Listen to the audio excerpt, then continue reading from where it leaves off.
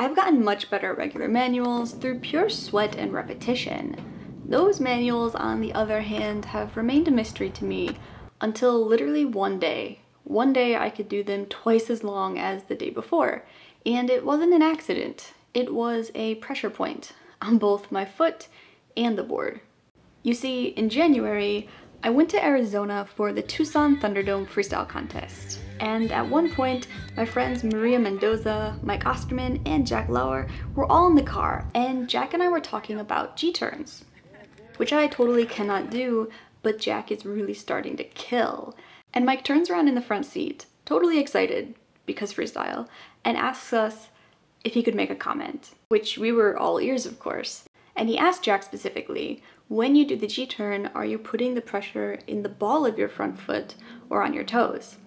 And I had this sudden moment of mental clarity. And I asked Mike, is it because it'll affect how you pinch the trucks? Because if you think about it, where you're pressing on your foot in relation to your foot positioning will affect the trucks differently. And Mike and I got really excited and it was tech talk and we were having a phenomenal time. But at the time, I actually didn't think about it again because we were talking about G-turns.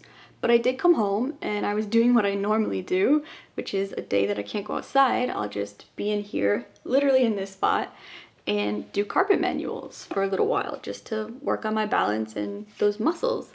And I suddenly had a thought while once again struggling with my nose manual about what Mike had said about putting the pressure on the ball of your foot and up until this point, I had never really thought about where I was putting the pressure in my foot when doing a nose manual or a regular manual. But I challenged myself to try it, to just put all the pressure into the ball of my foot when doing the nose manual. And it was actually really weird because at first I couldn't do it. It was very, very obvious that I was using the side of my foot and not the ball of my foot to do the manual once I started recognizing what I was doing and it was difficult to get onto the ball of my foot. I actually had to lift my toes up to make sure I was pushing into the board with the ball of my foot. And the results are wild, but I want to illustrate this one more time with a little shoe insole. So the way I was doing manuals before, I would put my foot on the board, I would tilt it in slightly, this is how I do my nose manual, and keep my foot pretty close to the bolts around here, I would say. So I would push the board down and then after that, my weight would typically roll onto the side of my foot and a little bit of like my smaller toes. And instead of pushing down, I'd kind of be pushing down and forwards and rolling this way, putting all the pressure around here. Now, once I pushed down with the ball of my foot from the same exact position, I was able to push down a lot more. And if you look at this, this is a pretty sizable difference to be pushing in relation to where the trucks are. So you're a lot closer to the truck, you can push down, I feel like relatively harder and still stay in control.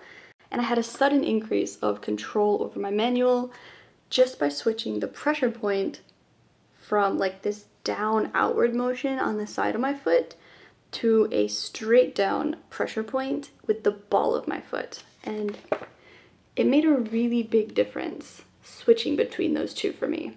And it makes sense because pushing through my toes in this direction versus pushing down through the ball of my foot in this direction are bound to work slightly differently. And my center of balance was both closer to the truck and my body weight. I could push down harder with reduced risk of pushing my nose into the ground as well. All because I adjusted where I was applying force to the nose in relation to the trucks. So after that moment of clarity and then the really fast results that followed, I started to apply this to both my nose manual and my regular manual, where I was really trying to take the ball of my foot as my pressure point and push down rather than pushing down and allowing my weight to roll over onto the side of my foot. So that's really what I want to leave you with today. When you're working on your manual and if you're struggling with it, nose or regular, really think about not just where your foot is, where of course where your foot is will affect how and where you push down on the trucks, but then think about where you're putting your weight into that foot. Are you pushing down on the center of your toes? Are you pushing on your big toes?